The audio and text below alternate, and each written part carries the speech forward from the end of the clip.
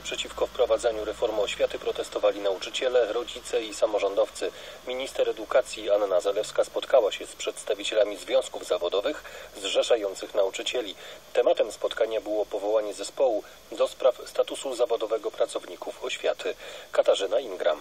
Po spotkaniu z przedstawicielami związków zawodowych zrzeszających nauczycieli Anna Zalewska zapewniała, że jest z protestującymi przedstawicielami oświaty. że jestem z nimi, realizuję ich e, postulaty. Prezes Związku Nauczycielstwa Polskiego Sławomir Broniarz nie był zadowolony z wyników spotkania. Po południu w zorganizowanych przez ZNP manifestacjach w całej Polsce wzięli udział nauczyciele, rodzice i samorządowcy.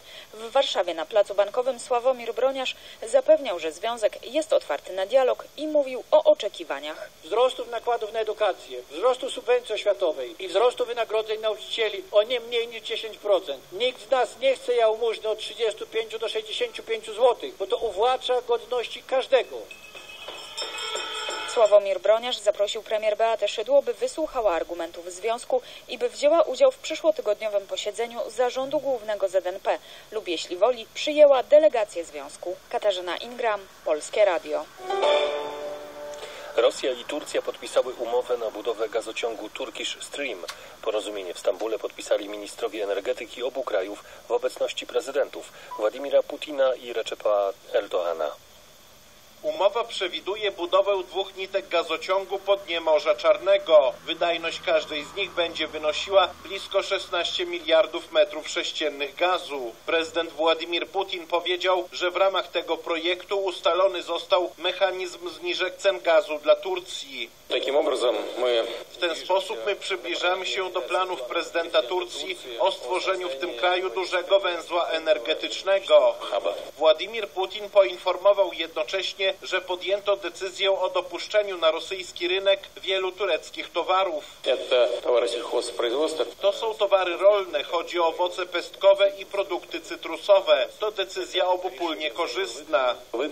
Obecna wizyta prezydenta Rosji w Turcji jest pierwszą po tym, jak w listopadzie ubiegłego roku doszło do zestrzelenia przez tureckiego myśliwca rosyjskiego bombowca. W tym czasie doszło do gwałtownego pogorszenia stosunków, potem nastąpiła odwilż i ich poprawa. Włodzimierz Pac, Polskie Radio. Niemieckie władze przyznają już oficjalnie tamtejszym służbom specjalnym udało się zapobiec zamachowi terrorystycznemu. Przygotowywał go 22-letni Syryjczyk, którego zatrzymano w Lipsku. Z Berlina Wojciech Szymański. Minister spraw wewnętrznych landu Saksonii, a Markus Ulbich, mówił na specjalnie zwołanej konferencji prasowej.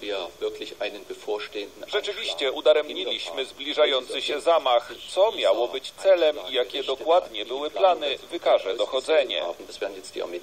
W mieszkaniu zatrzymanego mężczyzny znaleziono kilkaset gramów materiałów wybuchowych oraz dwa zapalniki, dodawał szef saksońskiej policji kryminalnej Jörg Michaelis. Sposób postępowania i zachowanie podejrzanego sugerują powiązania z tak zwanym państwem islamskim. Mężczyzna od soboty poszukiwany był w całych Niemczech. Minionej nocy został zatrzymany i wydany policji przez innych Syryjczyków, którzy zorientowali się, że mają do czynienia z osobą podejrzewaną o terroryzm. Wojciech Szymański, Polskie Radio, Berlin. Przenosimy się do kraju. Smog wraca do Krakowa. W październiku zanotowano pierwsze przekroczenia norm. Jak zamierzają radzić sobie z nim mieszkańcy? O tym Grzegorz Krzywak z Polskiego Radia Kraków. Wieczorem i rano jakość powietrza w Krakowie zdecydowanie się obniża. Tak, da się już wyczuć. Jest odczuwalny, jest odczuwalny bez wątpienia. No właśnie, smog powrócił, dlatego warto śledzić smogowe prognozy. Na stronach internetowych, czy Wiosiu, czy Urzędu Marszałkowskiego, czy Urzędu Miasta. Bo jak dodaje Ewa Lutomska z krakowskiego alarmu smogowego, śledzenie prognoz nawet co godzinę może nas nauczyć, kiedy oddychać pełną piersią, a kiedy lepiej zamknąć okno. Patrząc na wskaźniki widzimy, że powietrze pogarsza się w nocy, no a w okolicy godziny 11, 12, 13 te stężenia maleją. Smog to zagrożenie, którego w najbliższych latach nie pozbędziemy się. Dlatego warto nauczyć się z nim żyć i przede wszystkim jak go unikać. Grzegorz Krzywak, Radio Kraków. Prognoza pogody. W dzień zachmurzenie całkowite, miejscami zwłaszcza na południu przejaśnienia. Gdzie niegdzie słabe opady deszczu lub mrzawki, a wysoko w górach śniegu. Rano lokalnie mgły. Temperatura w ciągu dnia od 7 do 10 stopni. Wiatr może być dość silny, a na wybrzeżu nawet porywisty. Polskie Radio 24. Słowem wszystko. 5 minut po piątej. Dziś mamy wtorek, 11 października. To 285 dzień roku. Imieniny obchodzą Emilia, Aleksander i Marian. Słońce wzejdzie dziś 7 minut przed siódmą. W Polskim Radiu 24 zapraszam na powtórkę programu Joanny Miziołek. Powiedzmy sobie jasno. Polskie Radio 24. Powtórka programu.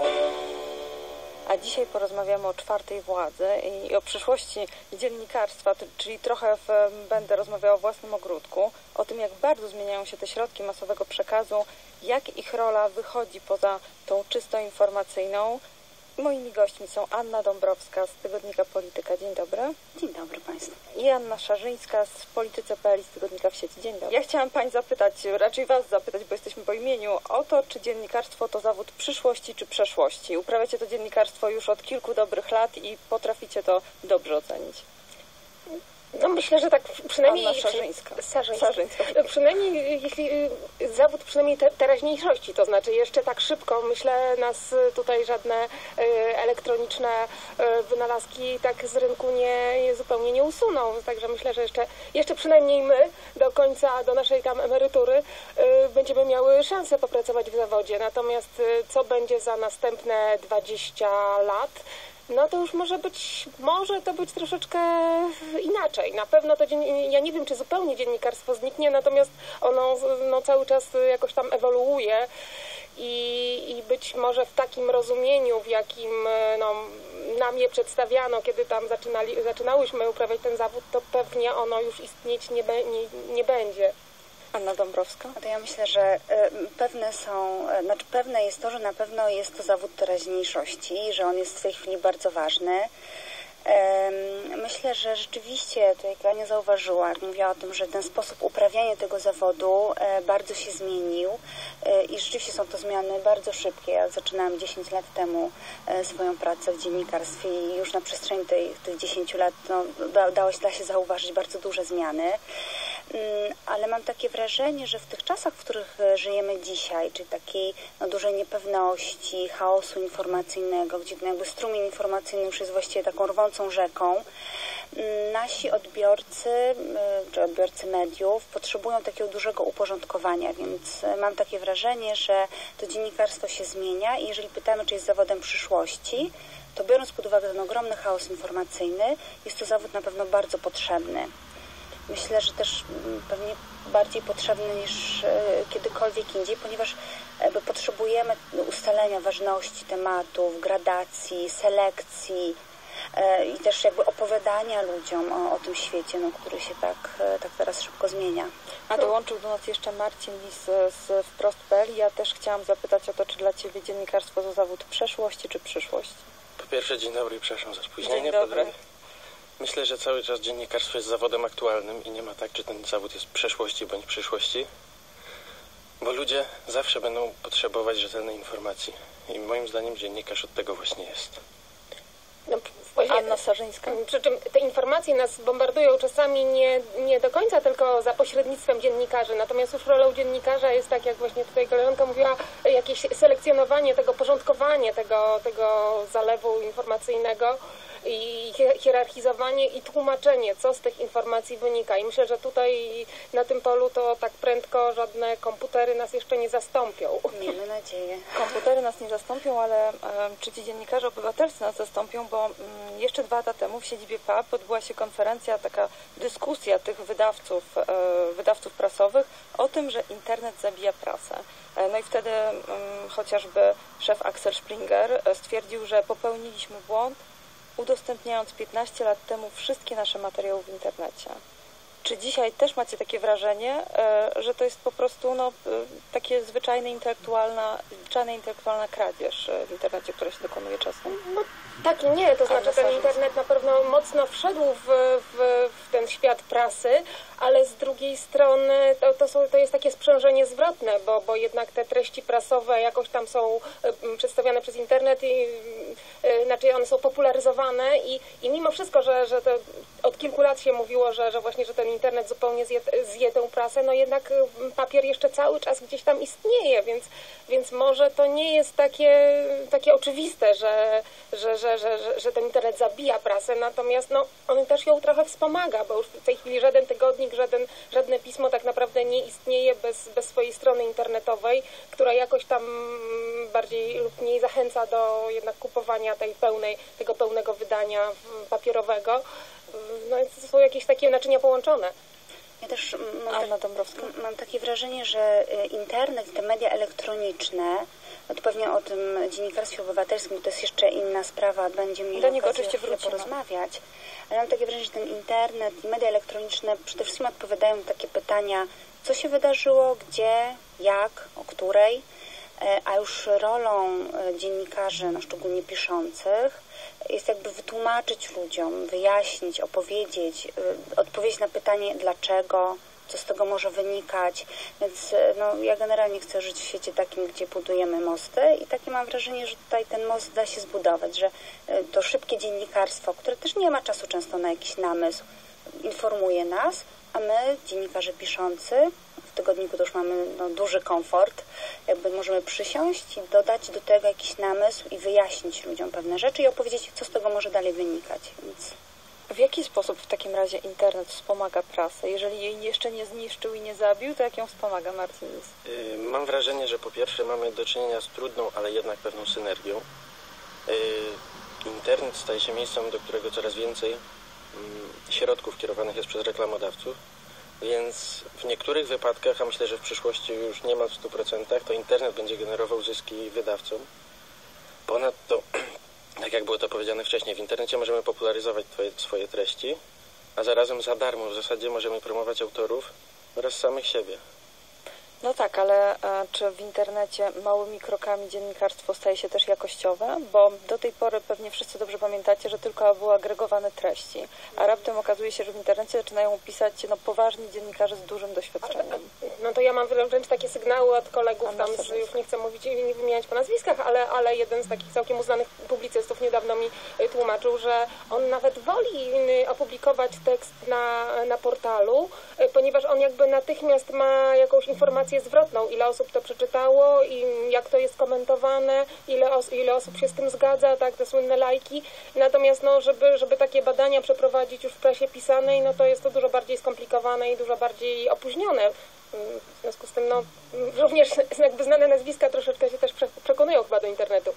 Ja mam takie poczucie, że rzeczywiście o takim jakościowym dziennikarstwie internetowym będziemy mogli mówić wtedy, kiedy ludzie nasi odbiorcy zdecydują się płacić za te treści. A jednak mam wrażenie takie, że no, jakby nasze społeczeństwo nie jest jeszcze gotowe do tego, żeby za te treści zapłacić, co też oznacza, że nie oceniają ich e, zbyt wysoko. No jednak po, po tygodnik e, czy po dziennik ludzie muszą pofatygować, nie wiem, zamówić prenumeraty, iść do kiosku, otworzyć swój portfel, e, jakby, jakby płacą właśnie za tę jakość.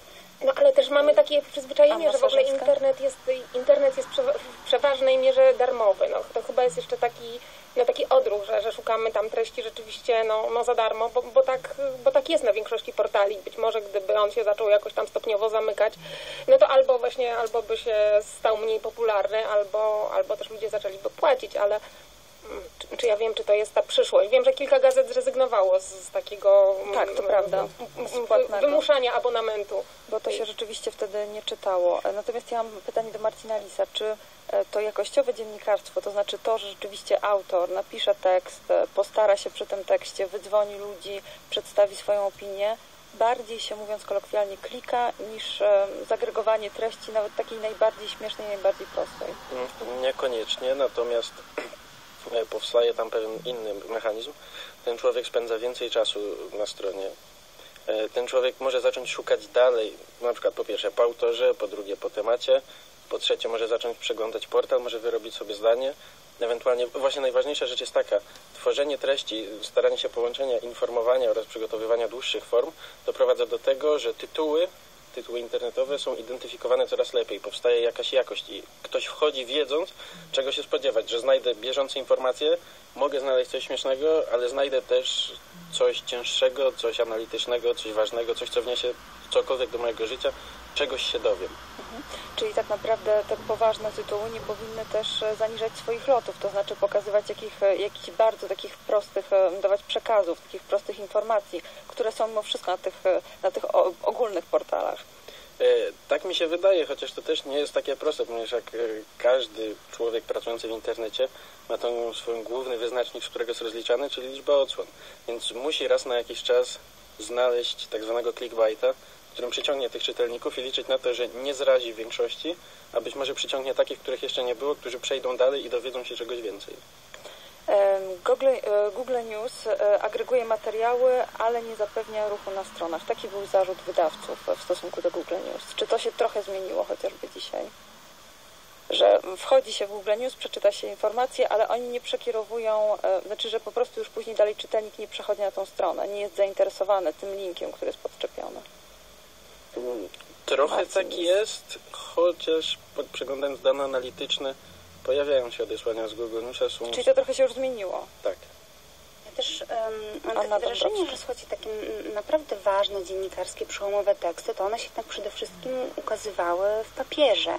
Rzeczywiście internet wspomagał tych dziennikarzy piszących, czy dziennikarzy śledczych, którzy, e, nie wiem, no, jakby uprawiają to dziennikarstwo śledcze telewizyjne, jakby wspomagał w ten sposób, że gdzieś tam wyciągał jakieś wątki z tych tekstów, ale myślę, że jednak takie przełomowe teksty to się jednak do tej pory jakby ukazywały tak w papierze. Zresztą opowiadał mi jeden z dziennikarzy, e, który przeszedł z, z tej strony piszącej do, do dziennikarstwa internetowego, że napisał wiele w internecie tekstów, które no, jemu się wydawało, że po tych tekstach powinno nastąpić trzęsienie ziemi gdzieś tam w różnych strefach a to się po prostu nie działo. E, że to jest taka, no tekst żyje tam pół dnia i, i dalej I gdzieś tam ta treść tak wysycha i mówi, że jakby nikt dalej tych wątków e, nie, nie, nie pociągnął, jakby żadne konsekwencje nie były dalej wyciągnięte, a mam wrażenie, że jeżeli chodzi o papier, to, to, to się rzadziej spotyka. Tak, to prawda, szczególnie, że była ostatnio ta afera reprywatyzacyjna, która też była przez dziennikarki Gazety Wyborczej tak. opisywana cały czas cyklicznie i koniec końców jednak e, wyszło z tego. Jest też tak, pozwolisz Aniu, że podobno ten dziennikarz e, mi opowiadał e, taką historię, że dzwonią do niego bohaterowie, którzy go tam straszą sądem, e, z czymś się nie zgadzają, będą pisać sprostowanie, już wynajmują prawników, ale ostatecznie jakby odpuszczają sobie, opadają im te emocje, prawnicy im też to doradzają, bo no właśnie jest taki, takie przekonanie, że jakby ten tekst pożyje tam pół dnia i spadnie gdzieś tam w Google'ach dalej, e, przykryją go inne treści wygenerowane, tak, newsowe, śmieszne, e, jakieś takie szybkie e, i już nikt o tym nie zapomni, więc czasami dla tych bohaterów nawet lepiej, jak oni się nie procesują, tylko gdzieś tam to spadnie w wyszukiwarce w Google'ach i jakby temat umiera. No to z tym to już różnie bywa, bo mnie się zdarzyło, że, że do redakcji tam przychodziły jakieś e, nie wiem, czy to sprostowania, czy jakieś uwagi do, do tekstów naprawdę sprzed dwóch lat, y, które były publikowane tylko i wyłącznie w internecie, a jednak ktoś to gdzieś wynalazł, coś tam chciał dopowiedzieć, dołożyć, zmienić, y, nie wiem, skrytykować, więc, więc jednak y, to nie jest, znaczy ja też te, zawsze miałam takie poczucie, że, że tylko to, co jest w papierze, to zostaje, a to, co jest w internecie, to szybko znika, ale to, to jednak nie do końca w ten sposób funkcjonuje. Natomiast jeszcze wracając do jakby przewag czy, czy minusów internetu i nad papierem, e, to jest mm, no właśnie w internecie można na przykład łatwo opublikować jakieś treści takie, no jakieś multimedialne, tak? Czyli jeżeli się wyciekają jakieś, nie wiem, taśmy, nagrania, filmiki, no to tutaj właśnie internet no, jest absolutnie, ma przewagę nad, nad, nad papierem, bo, bo one, one są po prostu do, mm, do zaserwowania tak sote i, i szybko. I, i, i, I, to często jest właśnie jakaś tam ilustracja czy tła różnych, różnych afer i, wtedy taki, taki filmik żyje, czy takie taśmy żyją. Myślę, Aniu, że jakby w sytuacji, kiedy rzeczywiście jest to ilustracja, czy jakieś tło, jak najbardziej, ale mam takie wrażenie, że bardzo często jest to taka właśnie sote podana informacja, rolą dziennikarza jest dopytać, zastanowić się, wyjaśnić, przewidzieć skutki.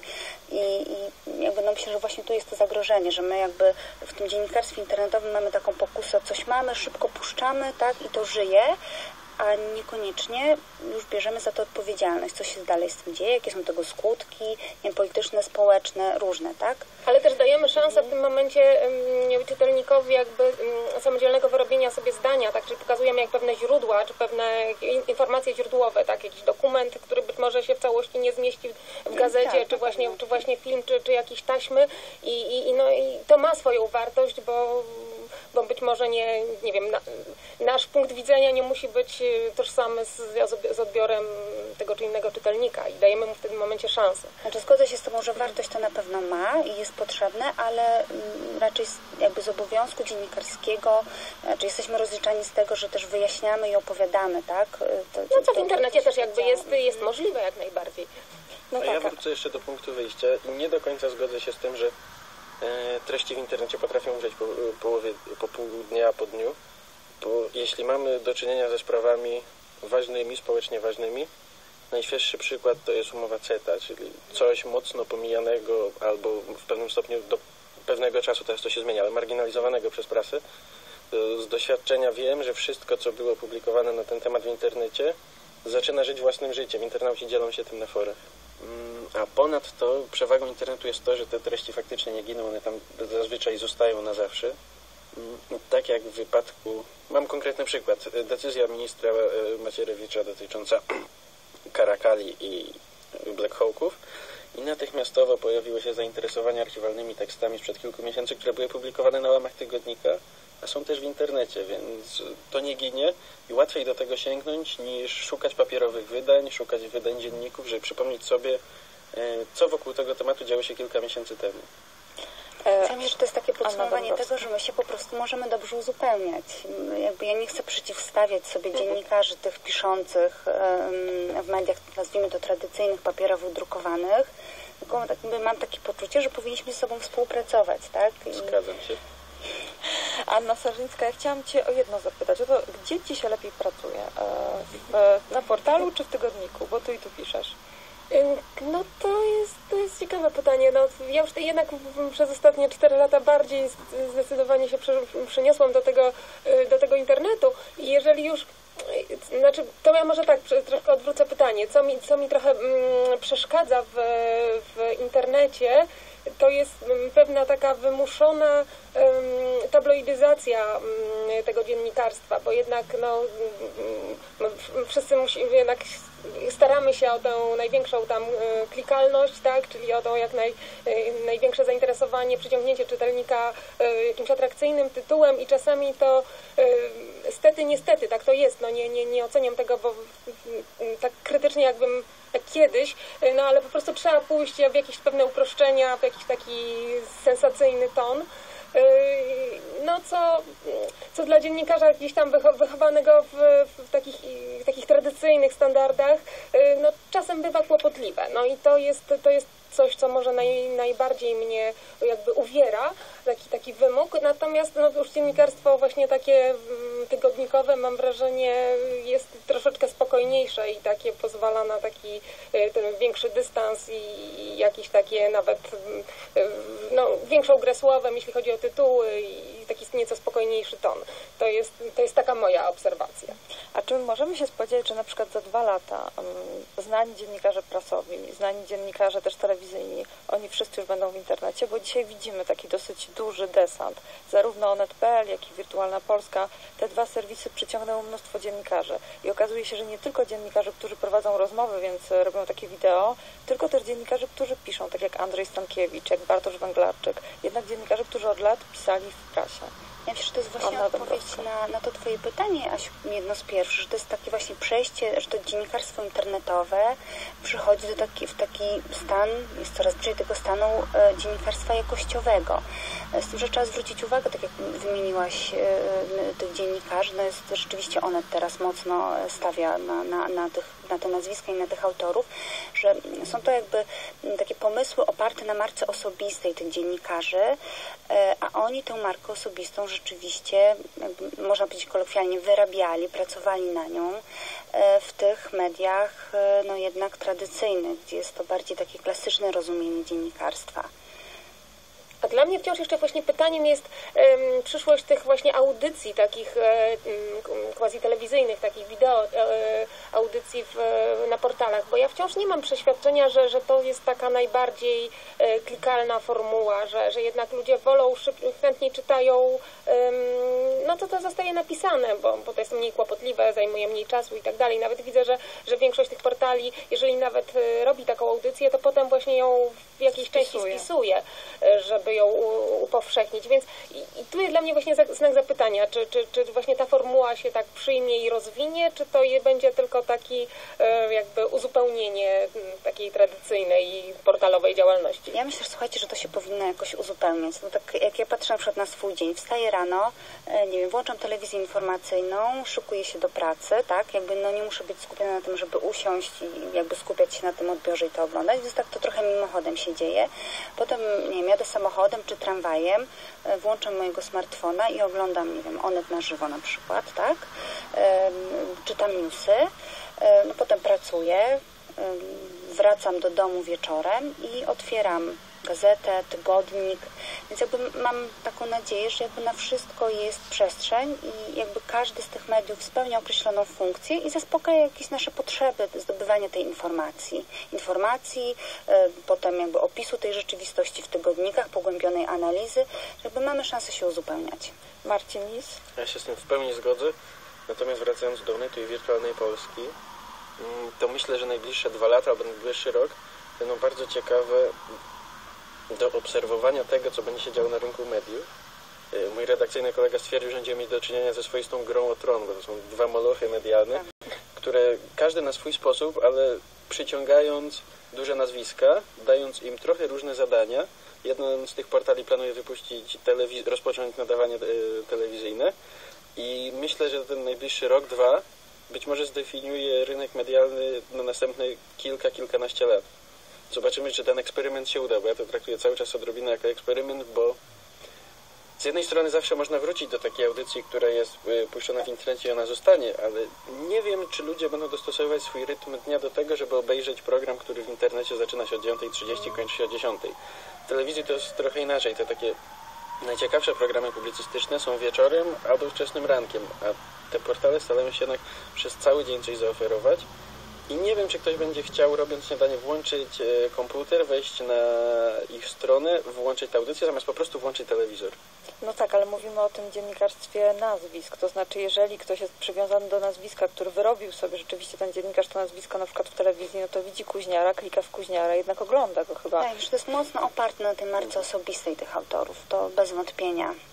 Na pytanie właśnie, z- zobaczymy, ciekawa jestem, czy, czy będzie taki dziennikarz, pojawi się, może już jest, tylko ja sobie go w tej chwili nie uświadamiam, który właśnie wypłynie i wyrobi sobie taką markę i nazwisko Tak, jest e, pytanie, w, w samym, internecie. w samym internecie. Chociaż chyba pan Jakubik, zdaje się, który ma te M24, e, tak się potem 20, program nazywa, czy 20, 25, tak. czy 20. E, W każdym razie no, on sobie wyrobił tą markę właśnie w internecie, robiąc, e, robiąc, nagrywając programy i zapraszając bardzo znane e, osoby.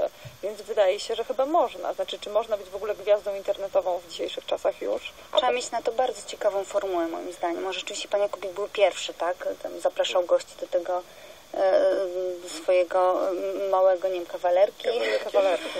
E, tak, więc on po pierwsze był pierwszy, ale też jakby mam takie poczucie, że odchodzimy od tego tematu takiego klasycznego dziennikarstwa, bo no, ja bym jednak go dziennikarzem w takim klasycznym tego słowa rozumieniu nie To nazwała. raczej rozrywka, taki Tak. infotainment. Natomiast jeszcze wracając do tych Anna dziennikarzy, gwiazd i, i, i dużych nazwisk, tak sobie myślę w tej chwili, że, że jednak te najbardziej znane postaci to są osoby takie no, multimedialne, to znaczy to są osoby, które się pojawiają wszędzie e, i w telewizji, radiu, i w internecie, gazecie.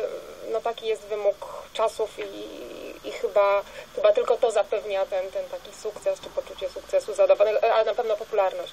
Ale myślę, że też wszyscy się stajemy, słuchajcie, takimi multidziennikarzami, prawda? Ja też, nie kiedyś, no ja jestem przede wszystkim tym dziennikarzem piszącym, jakby, no, pisałam tekst, się tylko na tym skupiałam, teraz już mam gdzieś z tyłu głowy, że wracam z jakiegoś materiału, więc nagrywam jakiś krótki mój komentarz, filmik, potem się ukazuje tekst, E, przed, jeszcze przed ukazaniem się tego tekstu wrzucamy, nie wiem, na naszego Instagrama czy na Facebooka, jakby tę zapowiedź taką, no krótki filmik z moją wypowiedzią, więc jak myślę, że to się wszystko przenika i łączy i może się fajnie uzupełniać. E, To ja już w takim razie serdecznie podziękuję, bo ta dyskusja była bardzo gorąca i mamy tutaj jeszcze na pewno więcej pytań. Ja serdecznie dziękuję e, Annie Sarzyńskiej, e. Annie Dąbrowskiej i. Marcinowi Lisowi za to, że byli moimi gośćmi. A my dzisiaj rozmawialiśmy o tej przyszłości czwartej władzy dziennikarstwa, o tym, w którą stronę podążamy, jak dzisiaj służymy obywatelom i czy oni się, czy są z tego zadowoleni. Ja serdecznie dziękuję, do usłyszenia za tydzień. Joanna Miziołek.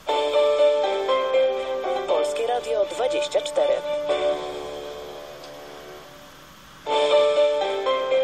Informacje dnia w skrócie. Przed mikrofonem Robert Kawka. Wystawcy z kilkudziesięciu krajów, zlot kamperów i spotkania z polskimi podróżnikami, którzy zwiedzają cały świat. To wszystko w weekend będzie można zobaczyć podczas targów branży turystycznej World Travel Show w Nadarzynie pod Warszawą. Piątku do niedzieli w Centrum Wystawienniczym w Nadarzynie będzie można odwiedzić stoiska ambasad i firm turystycznych z różnych krajów, ale także porozmawiać z ludźmi, którzy podróżują, zapowiada dyrektor targów Marcin Chojnowski. palcem po mapie to jest jedno, ale dowiedzieć się naprawdę, jak to zrobić, gdzie się jak dostać, czego się spodziewać. Od takich, powiedzmy, prostych rzeczy jak szczepienia czy okres pogodowy, który jest najlepszy. Takie rzeczy będzie można zobaczyć. Odwiedzający spotkają również polskich podróżników, a wśród nich Aleksandra Dobę i Marka Kamińskiego. Obaj deklarują, że odpowiedzą na każde pytanie zainteresowanych ich podróżami. Pytania można mi zadawać i ludzie mi zadają bardzo różne. No, rzadko kto mnie zaskoczy jakimś no, nietypowym. Ja będę się starał się podzielić swoją wiedzą, zainspirować. Bo ja też te wyprawy, które ja zrobiłem tylko dzięki temu, że inni mi pomogli, że, że też inni się podzielili ze mną. Podczas targów odbędzie się także zlot kamperów, ponieważ podróżowanie z przyczepami stanowi coraz atrakcyjniejszą formę turystyki. Bożena Falkowska, Polskie Radio. Podczas targów będzie także zlot podróżujących z przyczepami kempingowymi oraz salon camper z pojazdami z różnych krajów. Będzie można tam obejrzeć najnowocześniejsze wyposażenie kempingowe oraz akcesoria podróżnicze. Organizatorzy zapewniają, że z Warszawy będzie można dojechać na miejsce bezpłatnym autobusem. A skoro o podróżach mowa, przewozy regionalne ogłosiły przetarg na dostawę 10 nowych pociągów, które pojawią się na polskich torach pod koniec przyszłego roku. To pierwszy etap inwestycji w tabor przewoźnika. Pod koniec września przewozy regionalne otrzymały na ten cel kredyt w wysokości ponad pół miliarda złotych. Udzieliło go konsorcjum trzech banków. Jak mówi prezes przewozów regionalnych Krzysztof Mamiński, inwestycja poprawi jakość podróżowania. Nasza oferta nie jest dla spółki, tylko jest dla klienta i to ma być poprawa oferty, jakość e, taboru, e, standard podróży, a później jego e, częstotliwość, to to na co oczekują nasi klienci. Za pożyczone pieniądze przewozy regionalne chcą zmodernizować dodatkowo ponad 30 składów. W planach jest też zakup trzech szynobusów.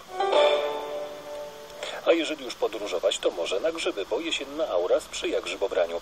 Grzybiarze z Podkarpackiego wyruszyli w okoliczne lasy. Wbrew pozorom ostatnie obfite opady deszczu nie spowodowały wysypu grzybów, ale wytrawni grzybiarze z okolic Głogowa Małopolskiego na Podkarpaciu nie narzekają. Nie ma tak za dużo, no ale jak się chodzi, to zawsze coś tam się uzbiera. Prawdziwki, podgrzybki, kozaki czerwone, maślaki, kurki, też dobre grzybki.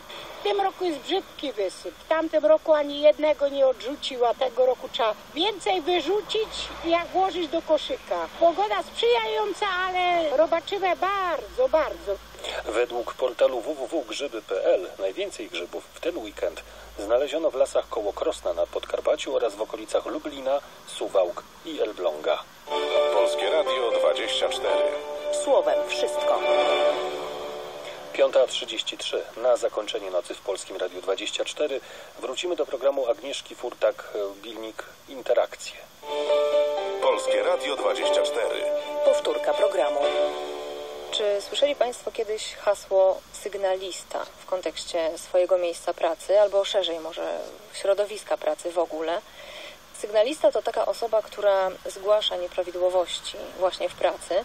No i tutaj otwiera się pole do dyskusji szerokiej nawet. Kiedy takie zgłaszanie nadużyć to działanie na swoją czy całej firmy korzyść, a kiedy już nie?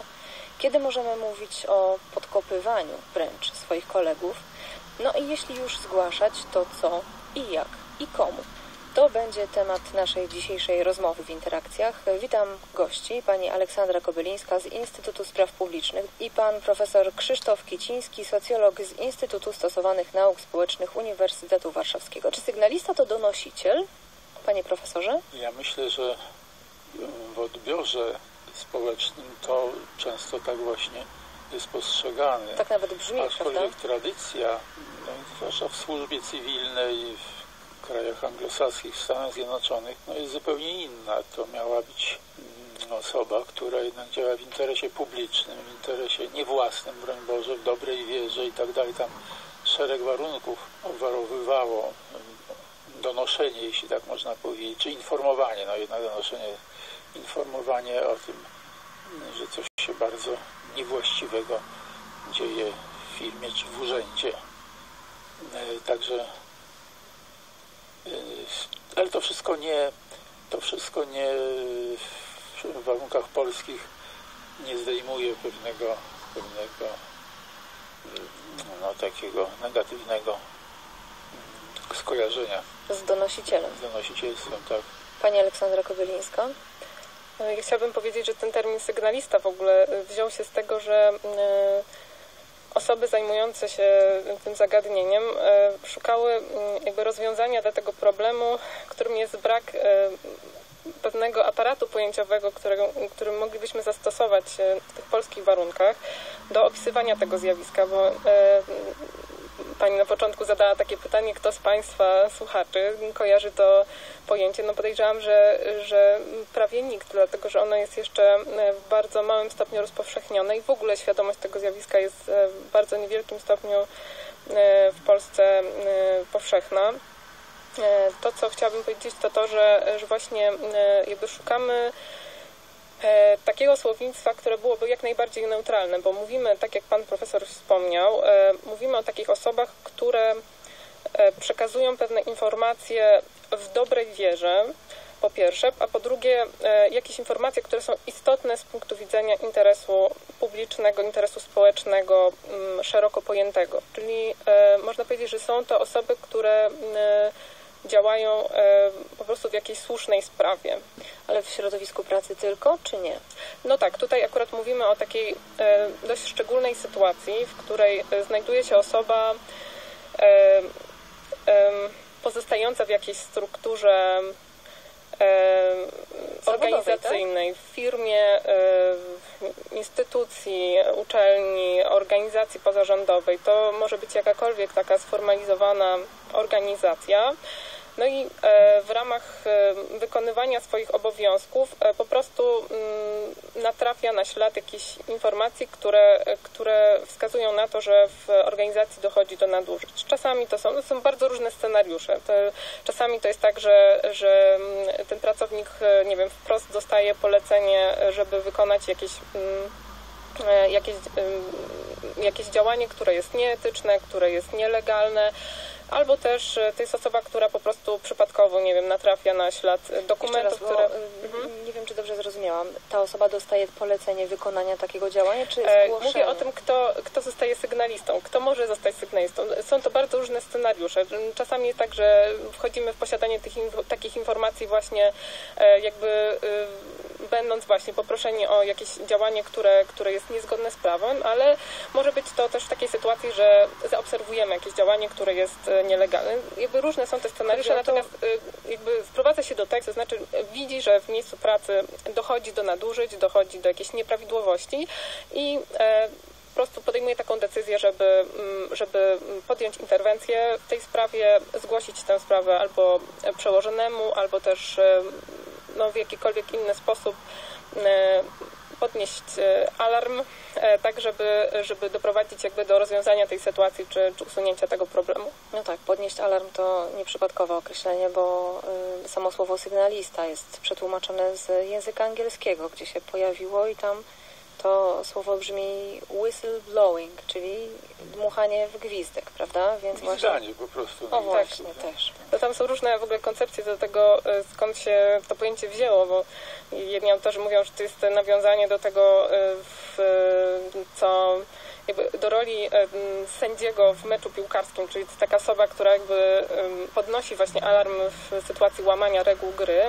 Inni mówią, że to raczej jest nawiązanie do takiego sposobu e, przywoływania pomocy stosowanego w e, policji dawniej, w policji brytyjskiej, amerykańskiej, policjant, który był świadkiem jakiejś niepokojącej sytuacji, potrzebował sprowadzić posiłki, po prostu gwizdał wtedy. No w każdym razie myślę, że to drugie rozumienie jest jakoś tam bliższe moim intuicjom, ponieważ sygnalista to jest często taka osoba, która właśnie natrafia na jakiś ślad informacji świadczących o tym, że dochodzi do nieprawidłowości i jakby niekoniecznie w ogóle ma jakiekolwiek instrumenty do tego, żeby tę sytuację rozwiązać, tak? Bo jest na przykład szeregowym pracownikiem, natomiast no, ma jakiś taki imperatyw, żeby, żeby nie pozostawić te, tej sprawy samej sobie i żeby po prostu no, podjąć jakieś działanie naprawcze. Panie profesorze, a czy taka kwestia właśnie bycia sygnalistą, ona jest etycznie neutralna, krystaliczna, czy mogą się też tutaj rodzić problemy? Nie, myślę, że nie jest etycznie neutralna, że to jest zawsze sytuacja, albo prawie zawsze ogromnego dylematu. Dlatego, Gdzieś że, jest między dwiema stronami. E, no tak, dlatego, że jednak ktoś tu się decyduje na e, informowanie. E, zwykle decyduje się dopiero wtedy, kiedy wyczerpał jakieś inne, mniej drastyczne możliwości interwencji. Pani wspomniała o tym szefowi. No, oczywiście, jeżeli tak się składa, że, że szef naprawdę sprawą się zajmie we właściwy sposób. Ale jeszcze bardziej typową sytuacją jest yy, tak, tak, taka sytuacja, w której na, szef, na szefie nie można polegać, prawda, bo szef jest w układzie jakimś i tak dalej. I ten ktoś jest, czuje się bezradny, osaczony w gruncie rzeczy, ma poczucie, że dzieje się bardzo źle w tej instytucji i szuka pomocy no, niejako na zewnątrz, prawda? Albo może do mediów również donieść, jeżeli nie ma innej możliwości, albo do jakiejś innej instytucji zewnętrznej, nie wiem, do Najwyższej Izby Kontroli, prawda? To też się mieści w ramach e, bycia sygnalistą, tak? Tak, tak, to jest właściwie sytuacja, ja powiedziałem, że to jest taka broń ostateczna. Instytucje powinny być tak zorganizowane, żeby jednak e, móc się samo naprawiać, prawda? Żeby nie, nie trzeba było potem broń ostateczną sięgać. Ale tak no niestety nie zawsze jest. No i w policji również mamy różne filmy fajne, takie amerykańskie, sensacyjne od, od bardzo dawna, które właśnie ten problem tak stawiają. Prawda? A jaka jest droga takiego sygnalisty? Czy to jest tak, że na początku powinien zaczynać od najniższego szczebla, czyli właśnie, nie wiem, kierownika swojego działu, później szefa całej firmy, a następnie, jeżeli to są właśnie na przykład osoby, na które y, trzeba się skarżyć, to dopiero wtedy na zewnątrz? No ja myślę, że w zasadzie powinien wyczerpać najpierw inne, inne drogi naprawy, bo jednak decydując się na na to sygnalizowanie w takim klasycznym anglosaskim znaczeniu, to na pewno się narazi na niechęć ze strony własnego środowiska, prawda?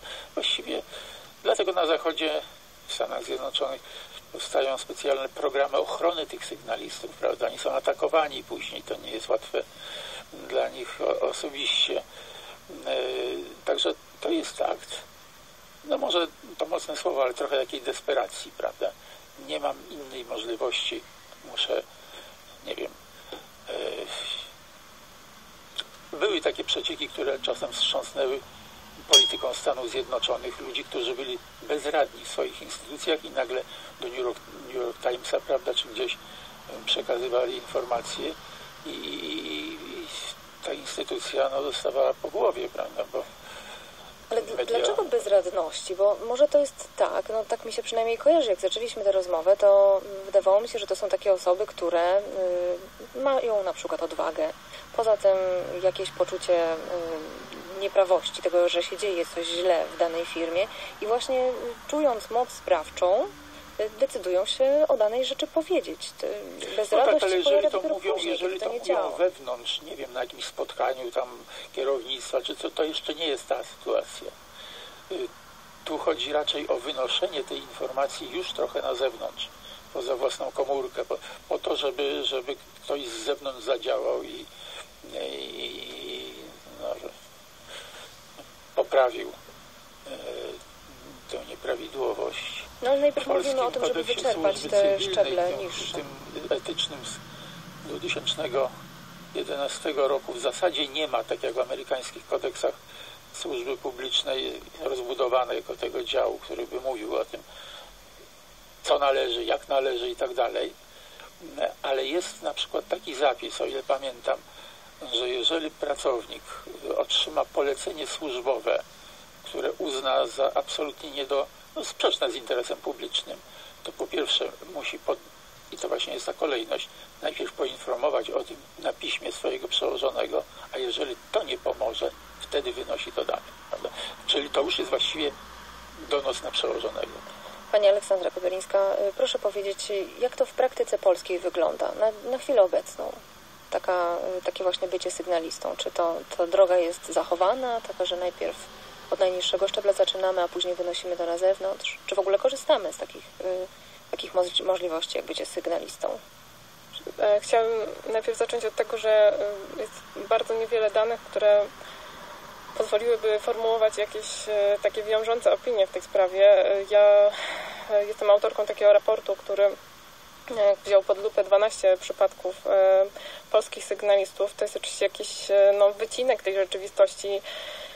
Nic tak naprawdę nie wiemy o skali zjawiska, o tym, jak to zazwyczaj przebiega. Mogę mówić tylko o jakichś takich swoich intuicjach w tej kwestii. Albo tych przypadkach, które Pani zna. Mhm że po pierwsze jest tak, że, że w ogóle taka typowa droga e, służbowa, bo często różne instytucje czy firmy mają zapisane pewne wskazówki co do tego, jak ma się zachować pracownik w sytuacji e, napotkania jakiejś nieprawidłowości. Taka typowa droga to jest właśnie e, jakby skierowanie tych pierwszych kroków do przełożonego. Tak? I, i właściwie, tak jak e, no, przypomnę sobie te przypadki sygnalistów, które ja e, analizowałam, no to w większości przypadków tak to wyglądało, że, że po prostu e, to były osoby tam na jakimś takim elementarnym poziomie jednak ufne w możliwości tej swojej organizacji do tego, żeby żeby się oczyścić, czy no właśnie odpowiedzieć jakoś na te nieprawidłowości i e, to były osoby, które no, przeważnie się kierowały do tych swoich przełożonych w, w pierwszej kolejności. Chociaż e, były też takie przypadki, kiedy po prostu ewidentnie e, nie miało to żadnego sensu, ponieważ nieprawidłowości po prostu wprzęgnięte było najwyższe kierownictwo firmy czy organizacji i po prostu e, wiadomo było, że, że taka wewnętrzna interwencja po prostu jest bezcelowa i, i w takich sytuacjach przeważnie sygnaliści jakby od razu kierowali swoje kroki do, do organów ścigania e, czy do mediów. E, natomiast niestety zazwyczaj było tak, że sygnaliści, którzy podejmowali tę próbę wewnętrznego rozwiązania problemu, no, odbijali się od ścianki po prostu. Znaczy przełożeni najczęściej jednak mm, no, przyjmowali taką postawę bierności e, albo no, zaczynali po prostu zwalczać sygnalistę jako osobę, która, która e, ich zdaniem zagraża organizacji. I te osoby jakby no, też różne potem kroki podejmowały, bo, bo część z nich w ogóle wycofywała się jakby już z tej aktywności dawała sobie, dawała za wygraną. Natomiast część po prostu no, osób bardziej zdeterminowanych próbowała interweniować właśnie na zewnątrz, czyli wychodząc do, nie wiem, instytucji E, typu organy ścigania, CBA, prokuratura, e, policja. E, no i często też korzystano w ostateczności z pomocy mediów, co też jest z jednej strony może bardzo pomóc sygnaliście w takiej sytuacji, kiedy sprawa gdzieś tam porusza emocje społeczne, trafia, trafia do opinii publicznej, natomiast taka osoba, która e, no, wynosi jakby informacje e, dotyczące firmy, instytucji e, już do mediów, po prostu naraża się na zarzut, na zarzuty cywilne, karne z, z tytułu pomówienia, zniesławienia i jest to, jest to bardzo, bardzo już potem trudne do, dla sygnalisty często, żeby, żeby że tak powiem, się z tego wyplątać. No i właśnie jak wygląda scenariusz wyplątywania się? Czy taka osoba ma jakąś możliwość ochrony siebie? Czy w ogóle jej y, sytuacja w pracy może być niezagrożona dalej? Czy raczej już się trzeba wtedy z pracą pożegnać?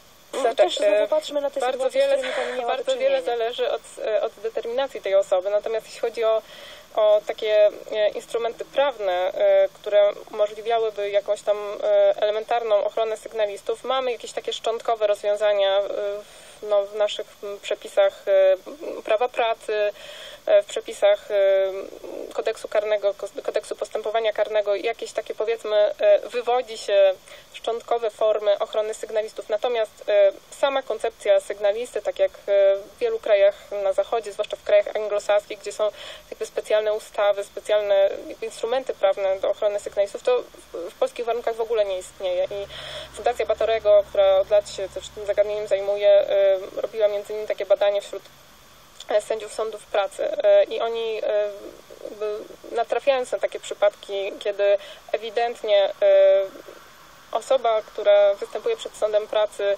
została zwolniona właśnie z takiej przyczyny, gdzieś tam w tle jest, jest taki konflikt pomiędzy pracodawcą a sygnalistą, znaczy można to wywnioskować jakby z materiału dowodowego, to sędziowie niestety często mieli zupełnie związane ręce, bo jakby nie ma e, w kodeksie pracy takich skutecznych norm, które, które mogłyby sygnalistę ochronić właśnie przed zwolnieniem. Oczywiście to też jest bardzo złożone zagadnienie, bo po prostu często jest tak, że że jakby to środowisko pracy staje się na tyle toksyczne dla sygnalisty, że on po prostu nie jest w stanie już tam dłużej e, przebywać, tak? E, bo, bo jest e, taki ostracyzm, jest taki poziom agresji, często kierownictwa w stosunku do sygnalisty, że, że po prostu no, ta osoba jakby no, musi mieć no, niezwykle dużo siły psychicznej determinacji właśnie, żeby jakby nadal pozostawać w tym miejscu. W Polsce to są początki, a panie profesorze, jak wygląda taka kwestia ochrony y, takich osób za granicą, chociażby w Stanach Zjednoczonych? No, przede wszystkim w kodeksach etycznych służb publicznych, na przykład w Stanach Zjednoczonych czy w Anglii, wręcz nakłada się obowiązek moralny na pracownika, by nie milczał, jeżeli w jego otoczeniu, w jego, w jego miejscu pracy dzieje się coś niezgodnego z owym interesem publicznym. On ma obowiązek, prawda? Oczywiście on tam musi wyczerpać tę normalną drogę interwencji, ale jeżeli to nie skutkuje, to on na gruncie właśnie tych, tej e, przyjętej dość powszechnie, takiej dość powszechnie rozumianej etyki e, właściwie powinien, prawda? On, on, to nie jest jego e, widzi mi się tylko taka pewna powinność moralna. Mówił Pan o tym, że takie osoby są wręcz zachęcane do tego, żeby, y, żeby działać.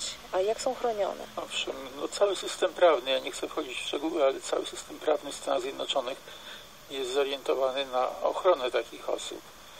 E, one mm, wtedy, jeżeli jakaś sprawa się toczy, czy, czy postępowanie wobec nich są w bardzo dobrej sytuacji ze względu na przepisy po prostu, które E, obowiązują. To jest inny typ kultury prawnej. No w Polsce mamy zupełnie inną tradycję związaną z naszą historią, jednak to może jest e, czasem naciągania, jak się mówi, no, głębokiej naszej historii, ale od bardzo dawna e, rozmaite władze w instytucjach w Polsce nie były naszymi władzami, prawda? Ludzie na wynoszenie informacji czy, no, czy, czy, czy informowanie reagowali tak jak na klasyczne donosicielstwo, prawda? Donosiciel to była najbardziej negatywna najbardziej negatywne skojarzenia i można kogoś, takiego informatora czy sygnalistę nazwać właśnie tylko informatorem, a odczytane to będzie społecznie o wiele gorzej właśnie. Zgadza się. Zwykle ludzie pomyślą, skojarzą sobie to z donosicielem po prostu oczywiście. Pani Aleksandro, Pani Aleksandra Kobylińska, czy taka działalność sygnalisty jest jawna w całym środowisku? Wiedzą o tym, że na przykład ja jestem sygnalistą, zarówno pracownicy, jak i, jak i te osoby, którym to zgłaszam, czyli najpierw nasz y, szef, a później y, no, osoby z zewnątrz. Czy taka osoba jest wybierana wśród na przykład w zespole, że o, ty jesteś po pierwsze przebojowy, po drugie tak jakoś dobrze się ciebie słucha, ludzie się liczą swoim zdaniem, to może ty zgłoś nasze problemy. No chciałam powiedzieć, że tych scenariuszy jest, y, jest bardzo, bardzo dużo i tak naprawdę każdy przypadek jest inny. Najczęściej jest tak, że, że sygnalista, nie, nie, może wycofuję się z tego, co powiedziałam, bo tak jak już wcześniej przed przerwą mówiłam, e, tak, ciężko tutaj e, mówić o skali, natomiast e, część sygnalistów wybiera taką drogę, że e, jakby z otwartą przyłbicą idzie, nie wiem, do szefostwa, czy też e, do organów ścigania, natomiast e, Coraz więcej instytucji i firm również wprowadza takie rozwiązania, które e, umożliwiałyby mm, anonimowe powiadomienie o różnych nieprawidłowościach. I tutaj oczywiście też się otwierają e, różne kontrowersje i wątpliwości etyczne co do tego, natomiast e, nie ulega wątpliwości, że że tego rodzaju e, droga informowania na pewno e, jakby ogranicza te wszystkie negatywne e, konsekwencje, potencjalne negatywne konsekwencje i właściwie realne, które najczęściej spotykamy w takich przypadkach dla sygnalisty. I właściwie no, często są taką dobrą drogą do tego, żeby nieprawidłowości ujawnić, zwłaszcza w takich sytuacjach, kiedy naprawdę sygnalista jest bardzo mocno uwikłany w jakiś stosunek lojalności do organizacji, e, nieprawidłowości już bardzo mocno narosły e, i e, bardzo dużo jest takich firm, korporacji, które tam kopiują wzorce mm, swoich, że tak powiem, zachodnich matek czy, czy, czy, czy central. Bardzo dużo korporacji już w tej chwili ma takie polityki whistleblowingowe. Coraz więcej pracowników jest też szkolonych w tym zakresie, jakby informowanych o tym, że jakby uczonych, że to jest takie zachowanie, które właśnie wspiera interes organizacji e, i e, z drugiej strony jest tak, że to są takie przypadki, o których się nie dowiadujemy. Nie, nie jesteśmy w stanie nic powiedzieć o ich skali, bo e, oczywiście to są takie Celowo się skutecznie. nie dowiadujemy? Chodzi mi o to, że skutecznie rozwiązana taka sytuacja to jest, to jest e, po prostu taka sytuacja, w której nic nie wychodzi na zewnątrz. E, To znaczy pracownik idzie do swojego przełożonego czy do jakiejś specjalnej komórki. Często jest to w taki sposób rozwiązane, że jest jakaś specjalna, mm, wydzielona komórka w ramach struktury organizacyjnej firmy, która po prostu jest powołana do tego, żeby przyjmować takie sygnały, je rozpatrywać i e, e, później wdrażać ewentualnie jakieś działania naprawcze. Czasami jest w ogóle tak, że firmy jakby e, outsourcują te usługi. Są, są specjalne, specjalne takie firmy, które świadczą tego rodzaju usługi. Tak? Jeśli pracownik ma jakiekolwiek wątpliwości etyczne, czy dopatrzy się jakiejś nieprawidłowości, dzwoni pod specjalną infolinię i tam te osoby jakby jako osoby zupełnie z zewnątrz wobec tego, co się dzieje w firmie, po prostu przeprowadzają dochodzenie i e, ewentualnie sugerują, co tam należy wdrożyć. Tak?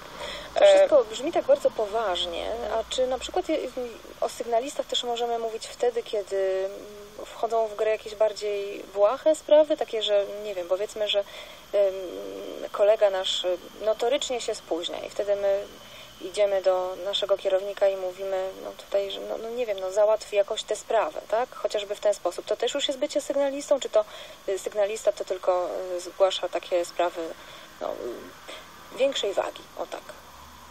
tak jak już chyba wspomnieliśmy na początku, sygnalizowanie nieprawidłowości, whistleblowing to jest takie działanie, które dotyczy spraw e, istotnych z punktu widzenia interesu publicznego. I oczywiście to jest, e, można powiedzieć, takie dość płynne i ocenne, e, bo być może w ocenie niektórych e, takie spóźnienia, no- notoryczne spóźnienia jakiegoś pracownika przynoszą szkodę organizacji. No w mojej ocenie jednak to, to nie jest taka sytuacja, która by, że tak powiem, e, Wymagała interwencji. tak, e, e, jakby mieściła się w tej definicji whistleblowing, tak? Tutaj chodzi o takie sprawy, które rzeczywiście e, są w jakiś sposób doniosłe z punktu widzenia e, interesu samej organizacji, czy też klientów tej organizacji.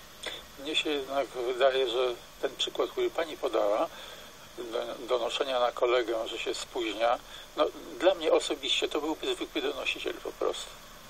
Jednak no, ja to mocno akcentowałem, że taki pozytywny y, sygnal, sy- sygnalista powinien wyczerpać inne środki. On mógł przecież porozmawiać z kolegą, mógł no, jeszcze gdyby doniósł w dodatku anonimowo na tego kolegę, że się spóźnia, no to jak najgorsze skojarzenia. Mnie się to raczej kojarzy z rzeczywistością radziecką i z Pawką Morozowem, który doniósł na rodziców, że dostaw obowiązkowych nie, nie wypełniają no i, prawda, wylądowali w obozie.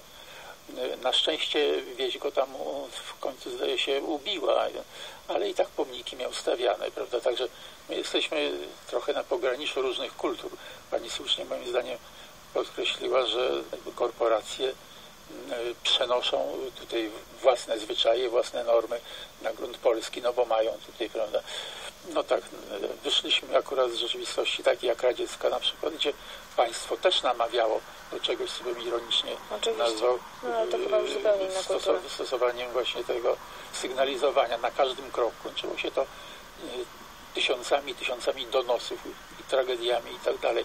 Także tutaj te motywy są niezwykle ważne i A jeżeli chodzi o anonimowość, no pamiętajmy, że e, jesteśmy w kulturze, w której jeszcze w kodeksie Boziewicza wyraźnie się mówiło, że ktoś, kto anonimowo mm, donosi, traci własności honorowe.